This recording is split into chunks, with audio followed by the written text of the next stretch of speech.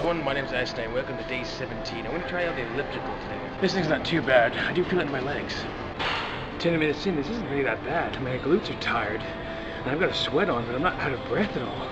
It's kind of nice. I have 20 minutes down on that, a couple miles, and my left foot's asleep.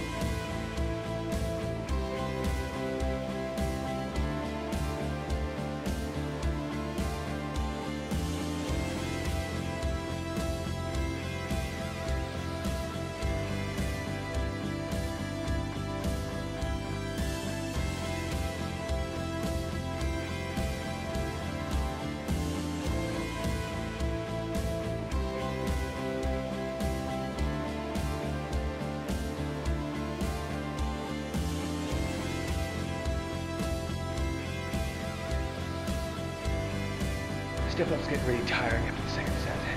My abs are getting tired as hell. Oh man, I still got a set to go. Don't you hate it when you forget your towel and you have to leave all wet or use paper towel to dry off? Kind of sucks, and I'm still half wet.